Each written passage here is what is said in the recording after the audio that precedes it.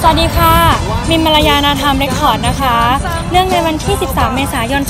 2561 เป็นวันปีใหม่ไทย ยังไงก็ขอให้ทุกคนมีความสุขมากๆ สุขภาพร่างกายแข็งแรง แล้วก็ขอให้ใช้รถใช้ถนนกันอย่างมีสติ แล้วก็ขอสนุกสนานมากๆนะคะ ยังไงมินก็ต้องขอฝากติดตามผลงานมินด้วยนะคะ ซึ่งจะมีมาในเร็วๆวันนี้นะคะ ขอบคุณมากค่ะ สวัสดีค่ะ